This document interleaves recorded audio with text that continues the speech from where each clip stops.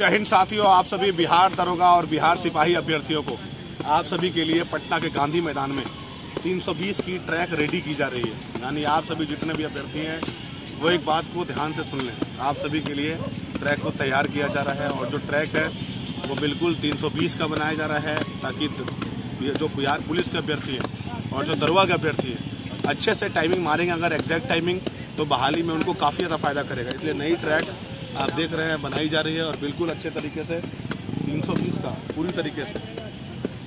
इधर दिखा दीजिए, और साथियों ऑलवेज आपको सही ट्रैक पे दौड़ना चाहिए। अगर आप अच्छे धावक हैं और दौड़ना चाहते हैं, और अगर आपको बहाली देखना है तो बिल्कुल कम ट्रैक पे नहीं दौड़े, रोड पे नहीं दौड़े, पहाड़ पे नहीं दौड़ना है। अगर आपकी बहाली में कम समय है तो आपको ट्रैक पे दौड़ना है एग्जैक्ट 320 पे दौड़ना है।